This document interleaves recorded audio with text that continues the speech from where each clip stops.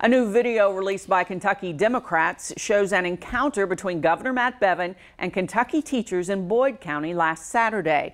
Democrats are saying it's another example of the governor bullying teachers. Uh, but the governor's campaign disagrees, saying the video shows nothing more than a dialogue. LEX 18's political reporter Karolina Buczek has that story.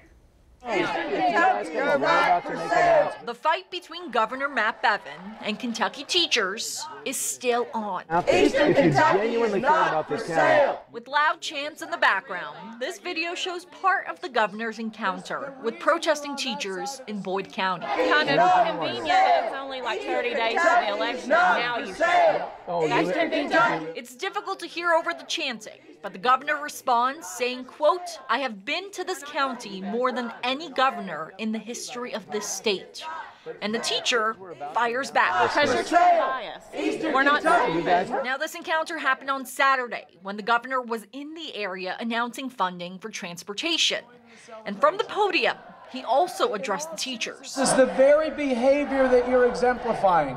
You would call any child who acted this way at recess or in your schools, you would not accept it. And the fact that as adults you're modeling this for the children that are here says a lot more about why you're really here. Kentucky Democrats say this event is, quote, just another example of his bullying and disrespect towards teachers.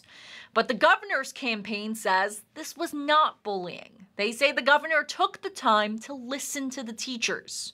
Part of their statement says, quote, Andy and his liberal funders are so furious that the governor has stopped their radical agenda that they now consider it unacceptable to have a dialogue on important issues. Karolina Buczek, LEX 18 News.